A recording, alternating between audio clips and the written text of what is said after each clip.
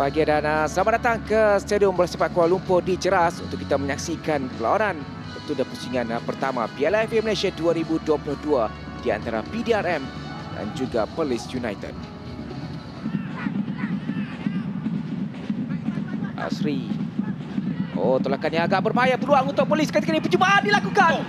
Tersasar sedikit di sebelah kiri gawang gol PDRM. Ini peluang yang cukup baik untuk Perlis United berada di hadapan Nusi Iqmal Ibrahim.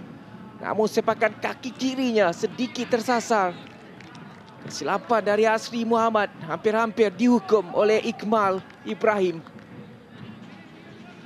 Ya, sayang sekali, sayang sekali. Uh, mereka menekan dengan cepat. Mereka tidak membenarkan uh, ruang kepada pemain-pemain PDRM. Saya rasa hantaran ini perlu lebih baik tetapi percubaan dia tidak menyedari dia mempunyai lebih masa di situ menggunakan kaki kirinya.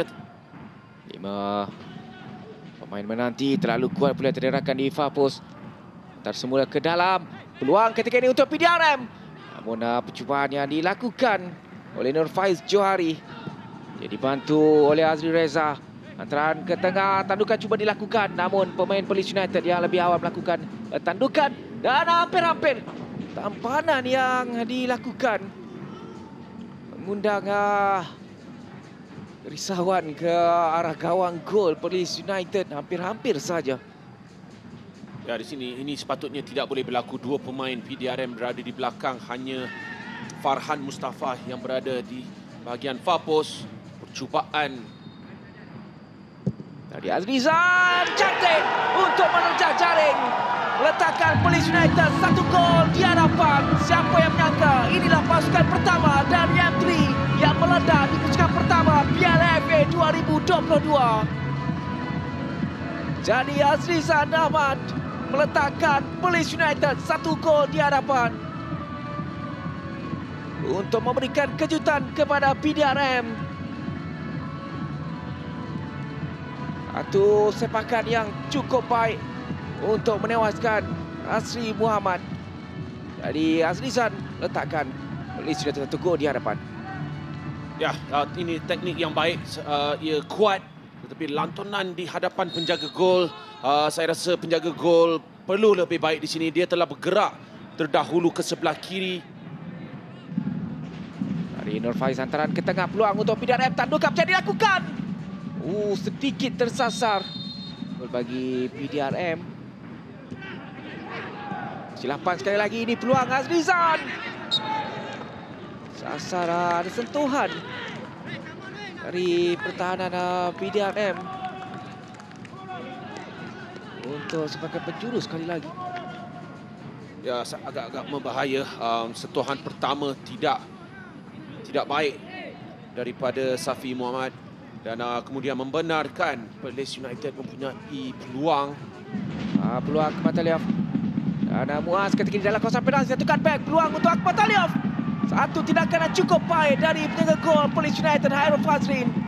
Mereka banyak mengawal permainan di separuh masa kedua ini kita lihat peluang ketika ini untuk Sadam bagi Police United masih dalam permainan Sadam Hashim masuk ke dalam kawasan penalti mencari ruang percubaan dari Sadam. Biar percubaan yang dilakukan oleh Sadam Hashim dalam aksi individu yang dilakukannya Ya, satu larian yang baik. Hantaran juga adalah sempurna untuknya menggunakan kelajuan. Dan uh, di sini bantuan agak lewat. Di situlah dia membuat keputusan untuk cuba menjaringkan gol. Kerana masa disambung hingga sama-sama itu PDRM ketika dia memiliki peluang. Bataliev. Oh, Bataliev. Oh, bersahaja dia melakukan percubaan yang tepat menuju ke arah Hairul Fazrin tidak begitu suka sebenarnya bagi Airul untuk menyelamatkan uh, sepakan itu. Ya, uh, pergerakan yang berbahaya pertama daripada Mirbag dan uh, di sini tidak banyak ruang tetapi itu sahaja yang boleh dilakukannya. Dia sukar untuk mencari sudut yang yang lain kerana mempunyai dua pemain di hadapannya. Azri Reza terus melakukan hantaran. Uh, peluang ketika ini gerakan yang baik. Ada sentuhan dan sepakan penalti untuk PDRM.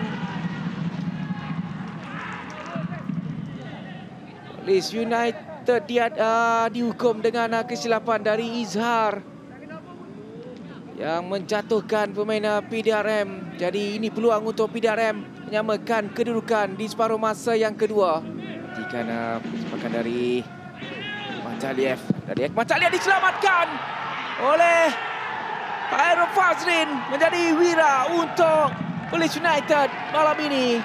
Berjaya untuk menyelamatkan sepakan penalti dari Mirbek Akhmataliev. Sepakan yang deras juga.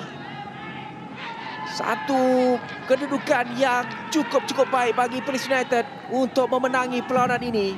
Ini satu motivasi moral yang baik ni. Ya sudah tentu. Um, tapi jika anda lihat kaki Hairul, kedua-duanya sudah keluar daripada uh, garisan. Karena jauh cuba dikejar. Sekali lagi peluang percubaan terus dan jaringan yang memastikan kemarahan Police United ke pusingan yang kedua. Kali ini Faisal Kadir pemain yang dibawa masuk di separuh masa yang kedua menjadi watak penting untuk memastikan kejayaan Police United pada ke pusingan kedua Piala FA 2022. Satu jaringan yang cukup-cukup baik dari Faisal Kadir untuk memastikan Police United marah ke yang kedua menewaskan PDRM dengan keputusan 2-0. Aero Fazrin anda menjadi wira juga untuk Police United pada malam ini. Malam ini Police United mencipta sejarah untuk menjadi pasukan M3 yang pertama marah ke yang kedua pada edisi kali ini.